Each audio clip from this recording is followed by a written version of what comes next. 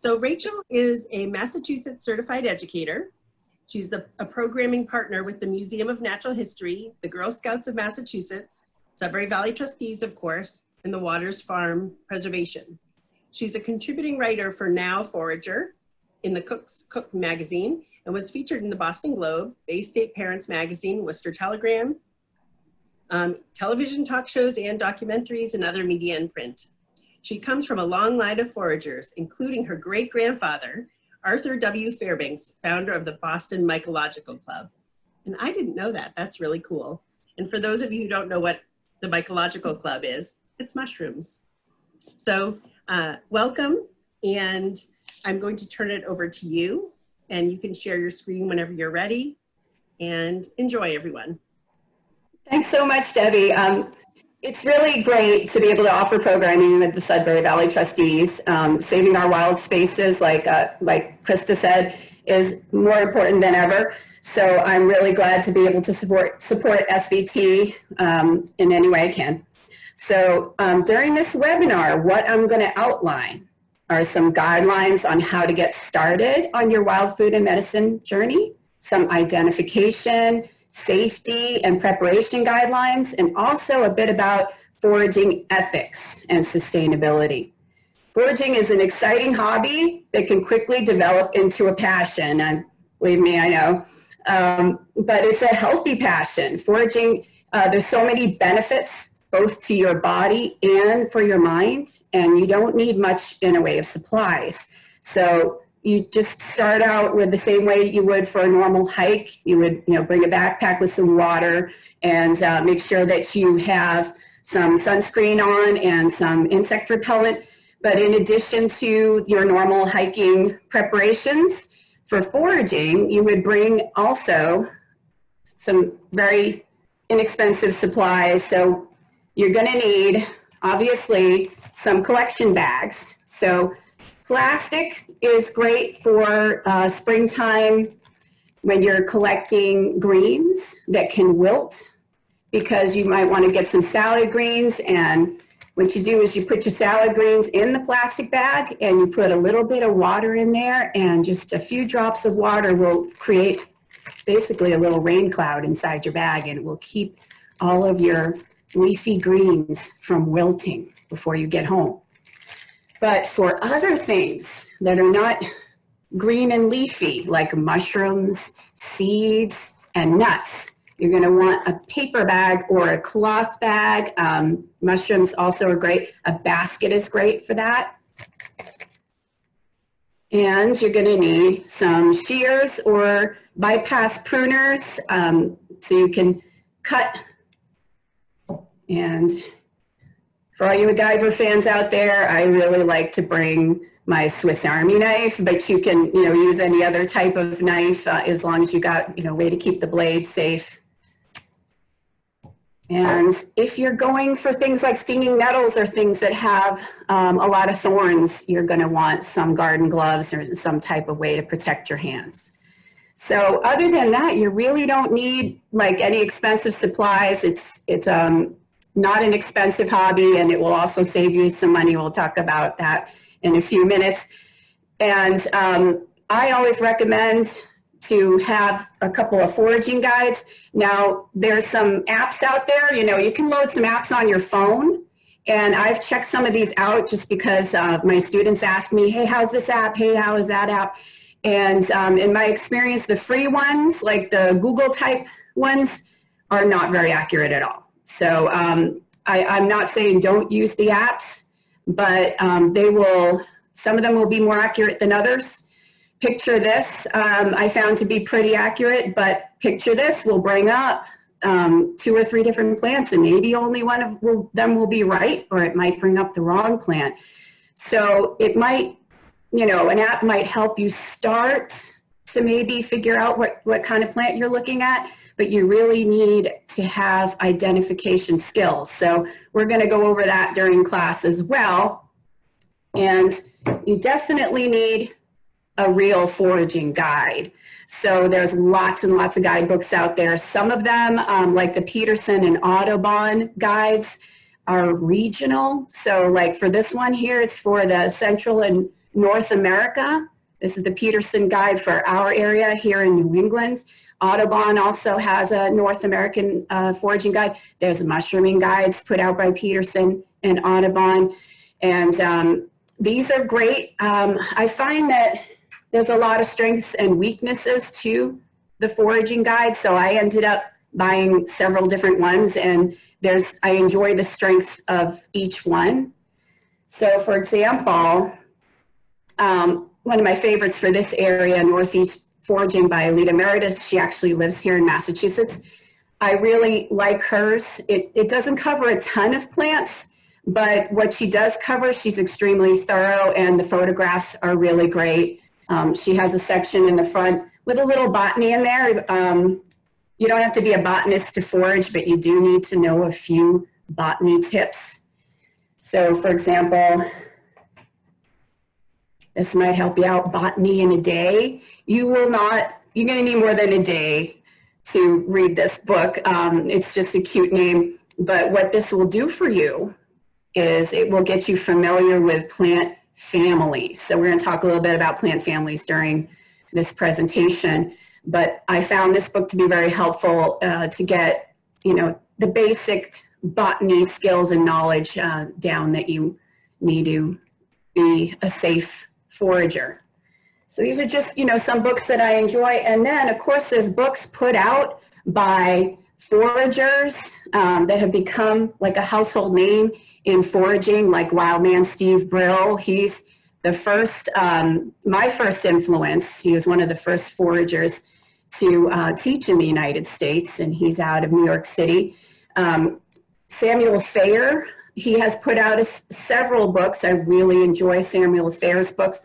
Um, one of the things I really like in this book here, which is uh, just, you know, the Forager's Harvest, is there's a section in here that tells you, it, it shows you the plant and then it says which parts are edible on the plant and what time of year to look for that part of the plant and forage it. Now, of course, you know, with different regions and different parts of the United States, these might be off by a couple of weeks, but at least it lets you know what parts of the plant are edible and which ones are edible first and kind of gives you an idea of what am I going to look for at what time of year. So that's a fun feature in this one. Um, and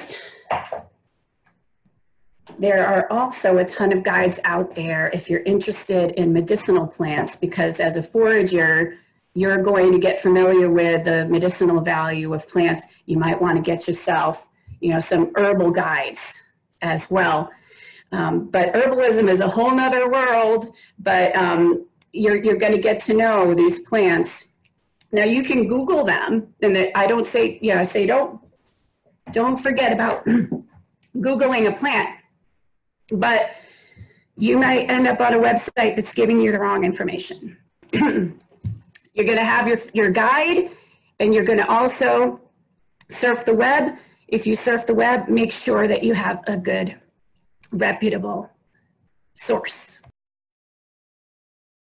So foraging benefits. One of them would be there's a lot of plants that are good for allergies, right? So one of the um, obvious benefits here is that um, wild food has a higher nutritional value than the food you find in the supermarket. The soil hasn't been depleted of nutrients, plus the foods themselves are higher in nutrients. So you're going to find much, you know, 100 to 1,000 times higher um, vitamins and minerals in each serving of wild food. And like I said, it doesn't cost you much to get started and um, my kids really enjoy it and it sure makes um, my kids want to hike more when they find some little trail nibbles and things. It's it's a very family friendly hobby. Make sure that you explain that there's poisonous plants out there and if you are hike are foraging with children that they know not to eat anything until they show it to you first.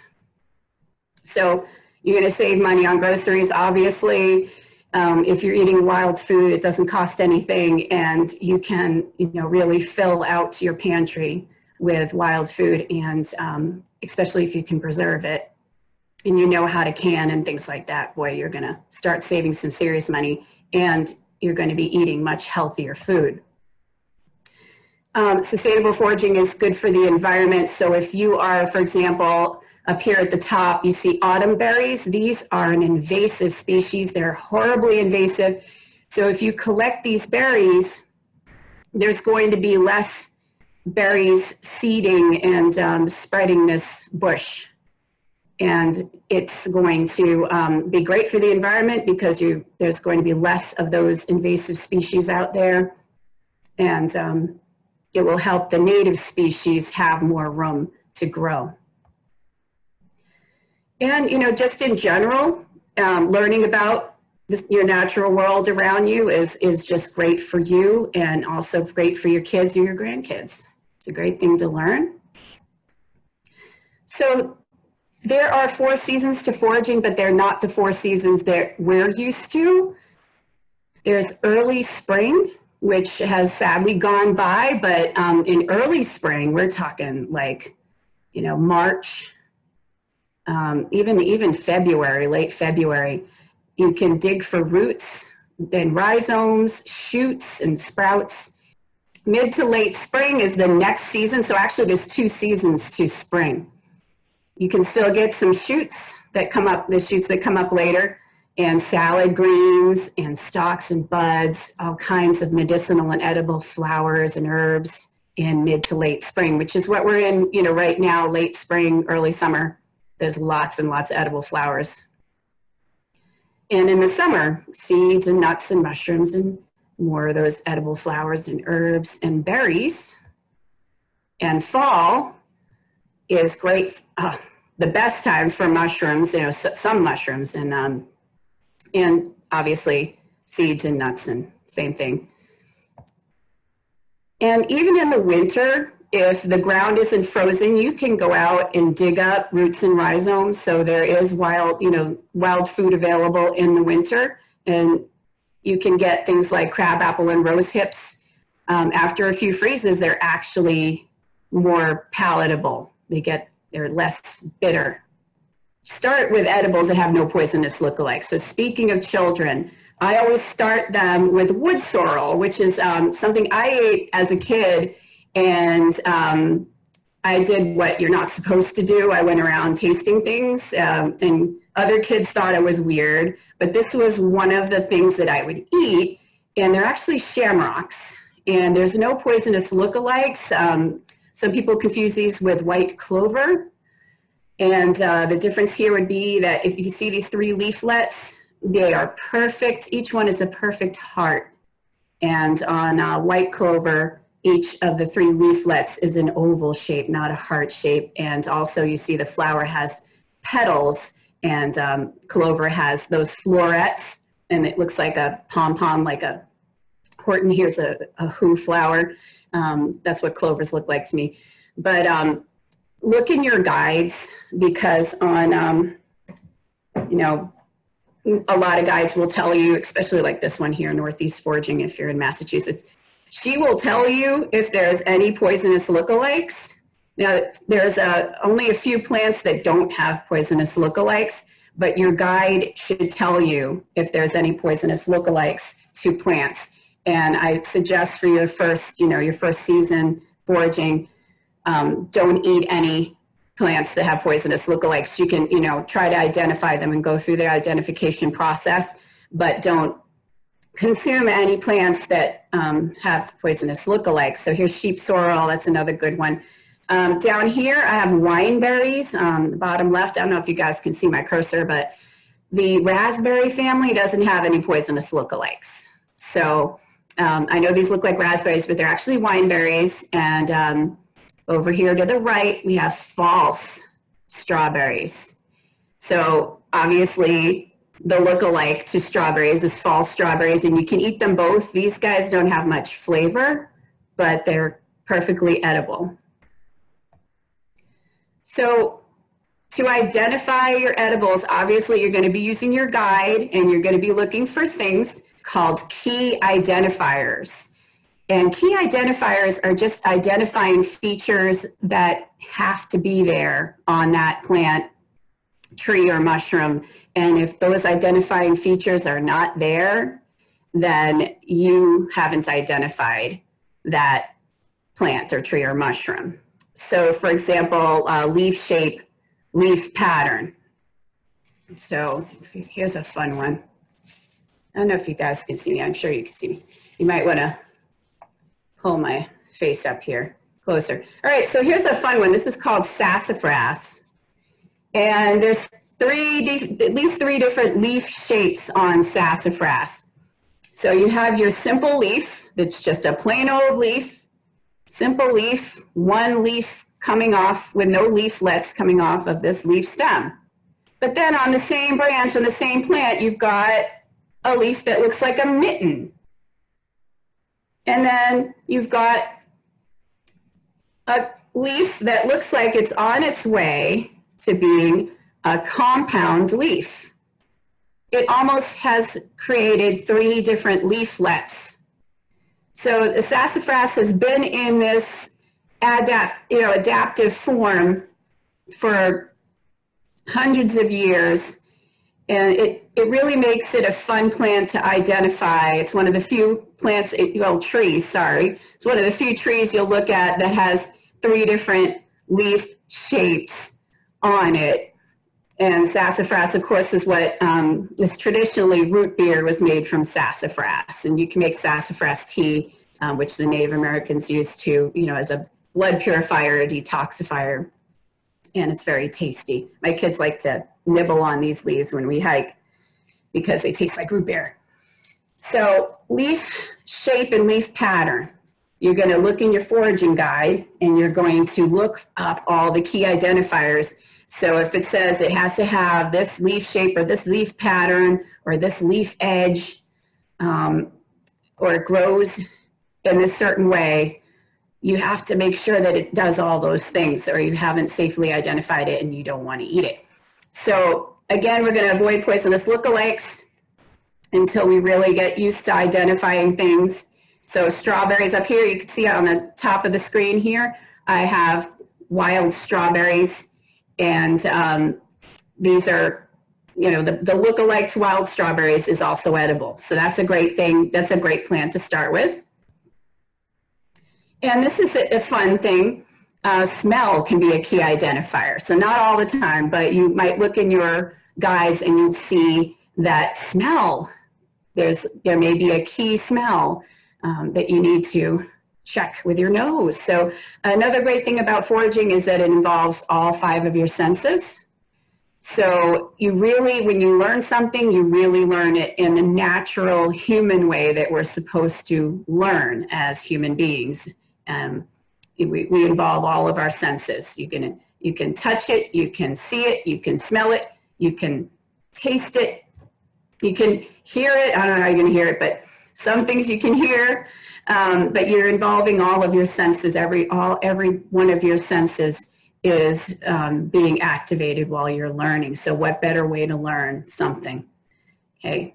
Um, never eat anything you can't identify, right? We were just talking about that. So if you can't find all those key identifiers, um, maybe you need to familiar, familiarize yourself with a, a, little botany to understand what leaf edge is and things like that. So that's what's uh, great for those um, one of the things that's great about your guides is usually there's some section in the guide that will tell you what leaf shape, leaf pattern, things like that mean. So that's why it's so great to have one of these guides or two or three. You can buy them used. And yes, we do not want to get sick and nothing is worth getting sick over. Um, there's been plenty of things that I've wished that I ha had found and really wanted to find it. And sometimes I thought I found the plant and um, just maybe one of the key identifiers was missing and I was like really wishing that that was the plant, but I didn't eat it and because it's not worth getting sick over. Okay, so let's talk a little bit about leaf patterns. There is um, the opposite leaf pattern. So take a look at this um, black walnut tree. The leaves are growing in an opposite leaf pattern down the leaf stem. This is a compound leaf. And um, all these leaflets are directly opposite each other on the leaf stem. the alternate leaf patterns up at the top of the screen here, we have Japanese knotweed, another horribly invasive plant, but edible. Um, and these leaves are taking turns going down the stem here, down, going down the stalk. They're alternating down that stalk. That's, that's another leaf pattern. Rosette, here we have a wild cucumber. Um, and this is a native plant and it is protected in some states. So if you find this, I would just, you know, leave it alone unless you have a really big catch. They're not protected here in Massachusetts, so you can maybe taste one. Here's the root right. That's the edible part is this little root down here. Maybe taste one, you know, because I, I native plants I don't like to consume unless there's a lot of it and um, and that that it's a renewable resource, you know. So I, I would eat like native weeds, renewable weeds uh, but when it comes to native plants like this one here, I usually leave them alone. I'm, I'm not starving and I can find some other things to eat, but I'm, I'm showing you the, the whorled leaf pattern, W-H-O-R-L-E-D with this wild cucumber root. And down here at the bottom is plantain. And I have that down there because it's growing in a rosette form. Remember I was talking about rosettes um, and that you collect rosettes at the beginning of the year. So for example, dandelions grow in a rosette in like this round pattern um, flat on the ground. And so does plantain. Plantain is a great first aid plant. So there's, you're gonna find there's a lot of um, very, very valuable first aid plants. So plantain is one of those. It's great for disinfecting and treating cuts, scrapes, burns, and it, there's nothing better for bee stings or wasp stings than a plantain leaf chewed up and put onto the sting, and that's called a spit poultice. So um, plantain just grows all over the place. I'm sure you recognize it. Um, it grows in the grass, and and I I can't tell you how many times I have had to chew up one of these leaves. They're edible, but they're very bitter and put that spit poultice on my kids, my husband, um, friends, whoever got stung. And 15 to 20 minutes later, there's no swelling, there's no sting, um, and it's, it's absolutely amazing. So I make salves from plantain and from um, jewelweed, which is this plant. Can't go back, huh? This plant here with the uh, yellow to orange flower, is called jewelweed, and it is uh, what the Native Americans traditionally use for poison ivy. And it's also incredible for eczema. So I've, I've saved a lot of money on dermatologist appointments for my kids, no longer having to um, take them to get prescribed steroids for eczema and, um, and getting steroids for poison ivy because I'm so allergic. I don't have to go and get steroids for poison ivy because I just put salve on, and um, I also extract this plant into soaps so that I can wash off the poison ivy. Say a plant is edible, but that doesn't mean that you can eat it raw necessarily. Like, for example, um, elderberry. Elderberries are poisonous unless you cook them, and that's why we have elderberry syrup, and, and everything elderberry has been cooked to cook out the, uh, the toxins. So um, just because they say something's edible doesn't mean that you don't have to cook it first. You, again, you're going to be looking at your guides and seeing how to prepare that plant. And a plant can be edible at one stage of growth, but then no longer edible. For example, fiddleheads here. We've got some ostrich ferns over here and uh, cinnamon fern over here. And at this stage, it's it's a shoot, sort of like asparagus. You you'll need asparagus as a, as a sprout. You're not, or shoot, you're not going to eat asparagus once it's turned into that fern type um, adult form. Same here with fiddleheads. They're delicious and edible. You have to cook them because there's an enzyme in, in fiddleheads that will deplete your body of vitamin B. So you need to cook them but they're really only edible at this stage and then they turn into a fern and then it's too woody and your body can't um, process it. It's too fibrous. And then some parts of plants are edible, while other parts may not be. So um, I, I would get that a lot in my classes where someone would say, oh, I can eat um, this part of the plant. So that means the whole plant is edible. Not necessarily. There's very few plants that um, all parts of it are edible. Like, for example, cattails. There's so many different parts of the cattail that's edible. And, um, you know, so for example, pokeweed. You can only eat pokeweed as a shoot and you have to cook it or it's poisonous. And then once it's become taller than like say 10 inches, it is so poisonous you can't even cook out um, all the toxins. You can't eat it at all. So look up, make sure that you're eating the edible parts of the plant, um, that you know that you need to cook it or not, and all again, all of that will be in your your guides. So that's why the guides are so important. You may look up a plant on a website and it will just tell you the medicinal value, but it won't tell you um, how to prepare the plant. Or you might look up, you know, something on the internet and it will just tell you how to identify it, but it won't tell you how to prepare it so that it's you can eat it. So that's why it's so important to get, you know, more comprehensive guides and um, you know some of these other authors will actually have recipes and cooking ideas and preservation ideas, how to dry the plant, how to can the plant uh, or mushroom. And that's why I really, you know, and pushing these guides and because um, I enjoy seeing those recipes and, and trying those ideas. So we'll go. Oh, one species of a plant may be edible while other species are not. So that's why I have these two photos here. Now these are, are cinnamon ferns and some people will eat the cinnamon fern fiddleheads while most foraging guides will tell you that they are not edible.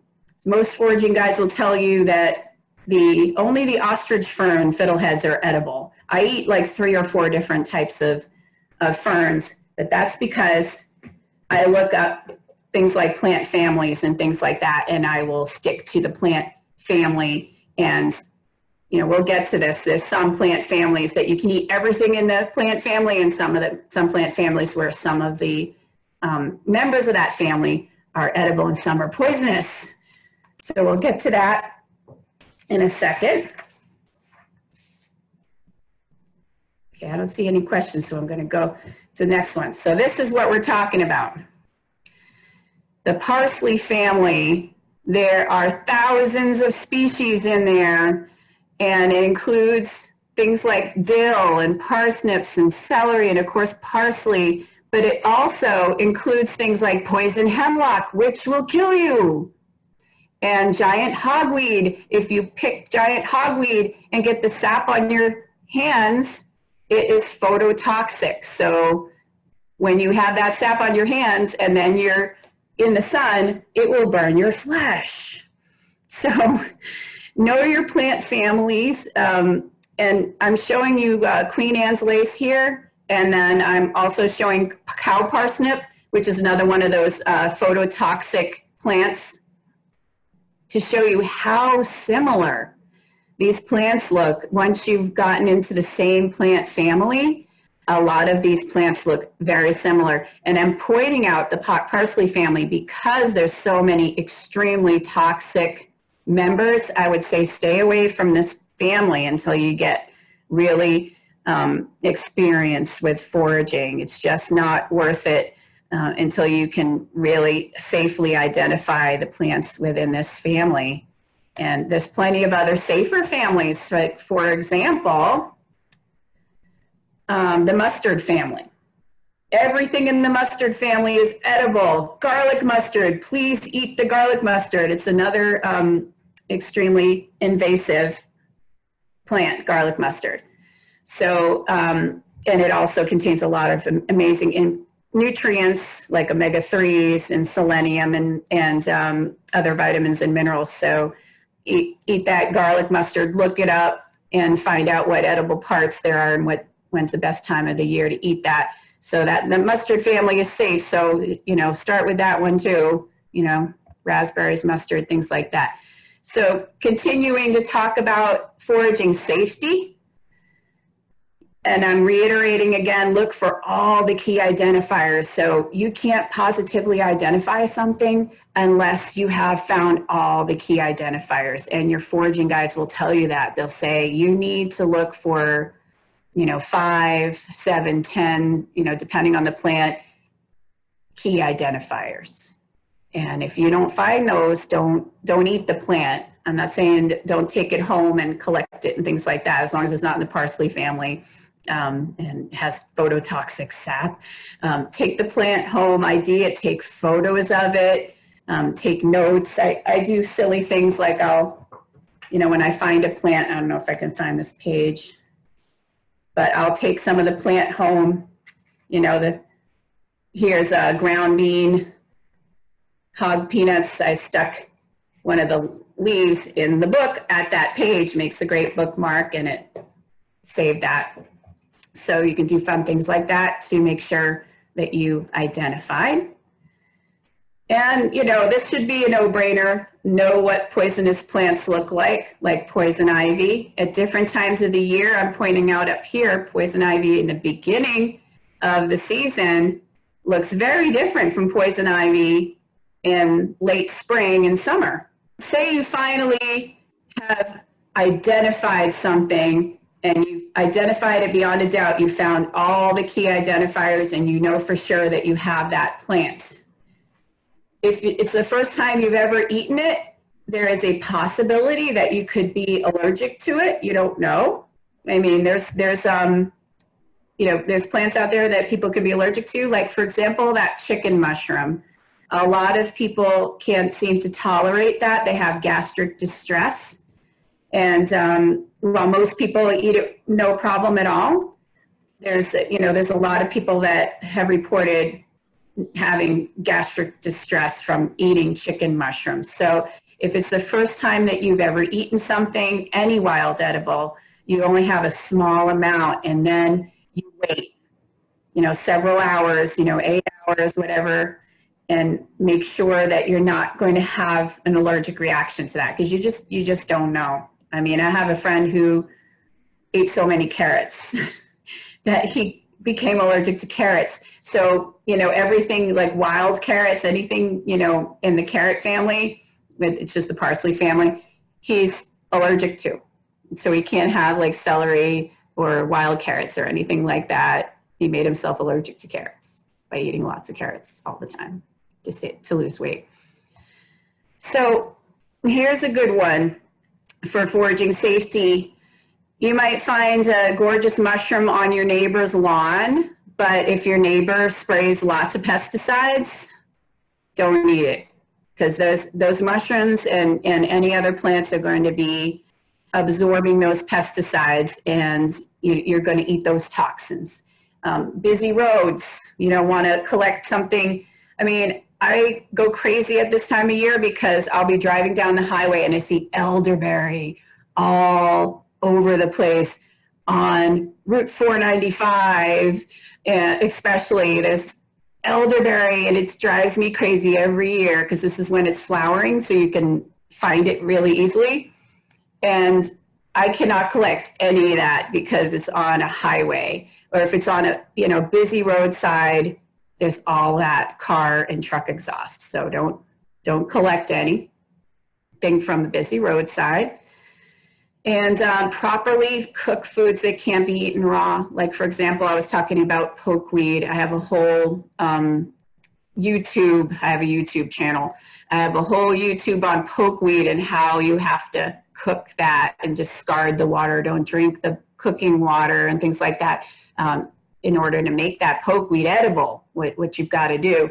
So again, you're, you're going to be looking in your foraging guides for that to properly cook your food, you know, your wild food if it needs to be cooked. Um, something else really important is that some wild foods have a high quantity of um, components that might not be good for you if you have certain health conditions. Like, for example, there's a lot of um, wild foods that are extremely good for you and very, very edible and very tasty, but they have a lot of oxalates in them. So if you have kidney stones or, or certain kidney issues and you need to avoid oxalates, you're going to need to avoid those plants that are high in oxalates. So again, you know, this guide, I know, for example, um, Northeast Foraging, she mentions if there's saponins and oxalates that are in high levels in the plants.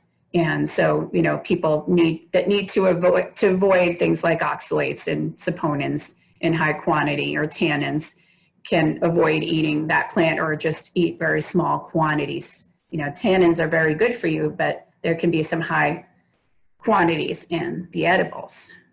Wildlife refuges um, and some conservation areas, Audubon Society land, they don't they don't allow it. So you don't want to go foraging in those places that you can find plants to identify, like for identification purposes. If you're at a wildlife refuge and you want to take photos of that plant um, to help you identify it, go ahead. Just don't collect anything because um, it's against the rules for that place, and we should we should respect that. We don't want to give foragers a bad name and make it hard for everybody um, to forage things. So um, check conservation area websites because most conservation areas are okay with foraging as long as it's um, you know you forage sustainably and and um, and you don't disturb the wildlife and things and you don't take too much of a of a native plant. Um, but check the websites because I have seen some conservation area websites where they say do not forage. And I've gone to some conservation areas and there's been signs up that say no foraging. So um, you need to respect that. There's plenty of places where you can forage, make friends with your local organic farm. Uh, I really love Stearns Farm. Um, they have all kinds of wonderful wild edibles around their fields and in their fallow fields. So find a find an organic farm or, or um, a, a um, farm near you where they they don't mind that you forage. Okay, so what you're going to do when you're foraging is you're going to focus on um, invasive and renewable species. So, in other words, weeds. You know, things like red clover, and um, you know, they, there may be some native weeds that, even though they're native, they're plentiful and they're renewable. They're annual. They come back every year, and there's tons like huge colonies of stinging nettle, for example. You wouldn't forage like a tiny patch of stinging nettle. But if there's a, you know, I, I know where there's colonies that just cover acres of land and, um, you know, you can forage from them because stinging nettle will spread by rhizomes and seeds, two different ways. And, you know, look at how much of that plant is growing and take a small amount, know, a small percentage of the plants that are growing in that area. But if they're an invasive plant, have at it.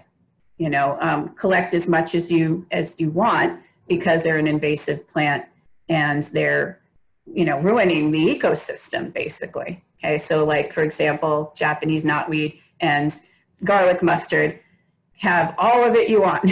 you know, it, you're really helping out our ecosystem by collecting that and eating it, and you're helping your body by um, having a very nutritious plant.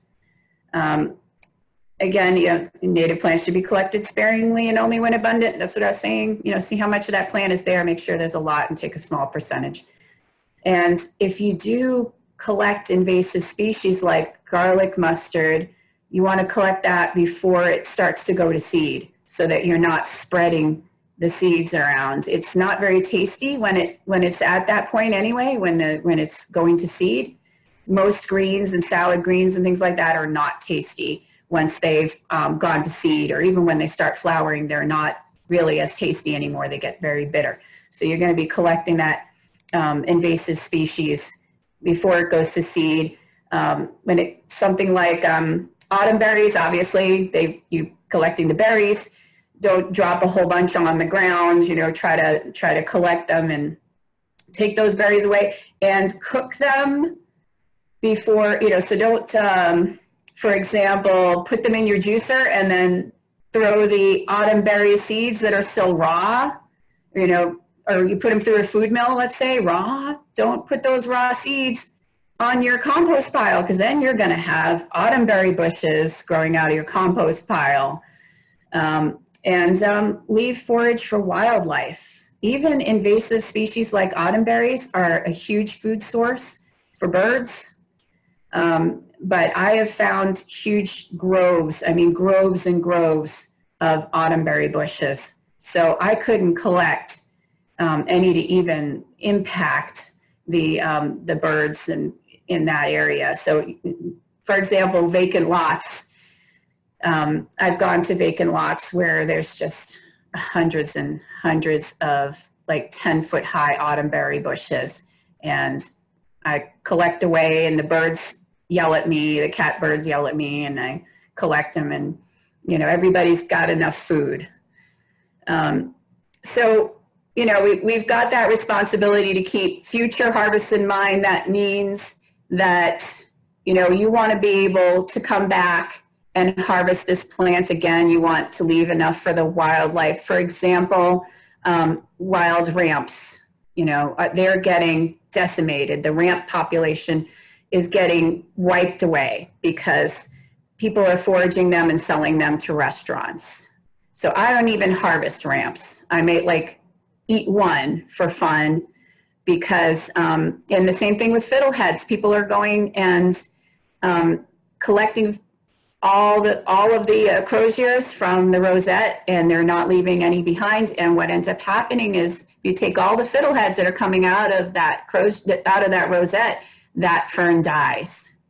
And I don't know why these foragers don't care. You know, don't they want to come back next year and and forage for that restaurant again in the same spot, um, or do they just not know that you need to take only, you know, like one third or one fourth of the fiddleheads that are coming up? You know, count okay, or there's four fiddleheads coming up. I'm going to take one.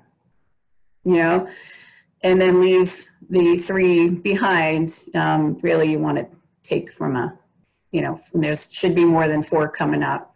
But if there's like, say, seven coming up, you're only going to take like two from that, from that um, fern.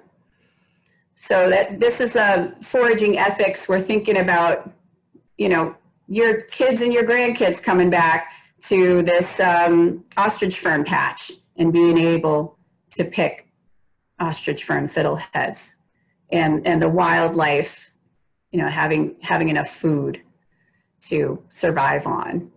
What is the percentage um, that you take of that plant or that colony? And it, it varies based on, you know, what the plant is. But what you want to do is you don't want to not kill the plant and, or kill the colony of that plant.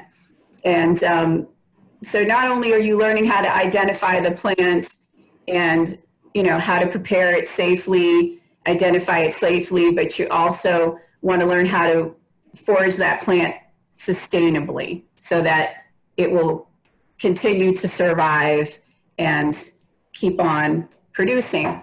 If, but again, if it's a, it's an invasive plant, then you're, you're going to want to try, you know, collect that.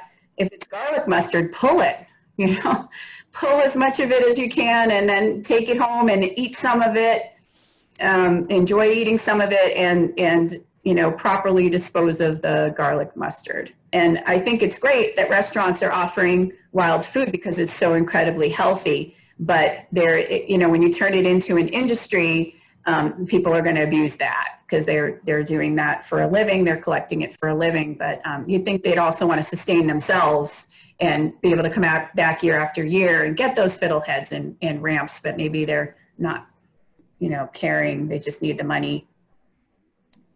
But I, I, you know, I'm just putting that out there that there's, you know, the ethics are important because, you know, you want to have those future harvests and you also don't want um, invasive species taking over. So say you, you know, killed all the ramps, well then garlic mustard might take over that ramp patch ground you know so you you don't want to um, collect so much of a native species that it gives room for an invasive species to come and take over. The things that I make, I make for my family and friends and to give as teacher gifts and things like that. But um, I, I also will do fairs like to, to support um, Waters Farm. I will do a table at Waters Farm. Um, so how can you find me? Some of you already found me on Facebook. My Facebook, Cooking with Mrs. G, everything is Cooking with Mrs. G that I'm on, by the way. Um, my Facebook is also um, a website. So in, when you're a business site on Facebook, you don't have to have a Facebook account to view my Facebook website. So what I do with the Facebook is I will post my finds. I'll say, "Ooh, I found you know elderberry today," or you know, I found a chicken mushroom today, and I'll post you know what I did with that chicken mushroom. How did I cook it? Things like that. I might have recipe ideas. I might have um, preparation ideas. So it's sort of like a mini blog is, is what my Facebook is. And then again, Instagram, I'm not as good about posting on Instagram because I'm old and stuff, but um, I do post some. And uh, that's mostly like photos of what I cooked with the wild food.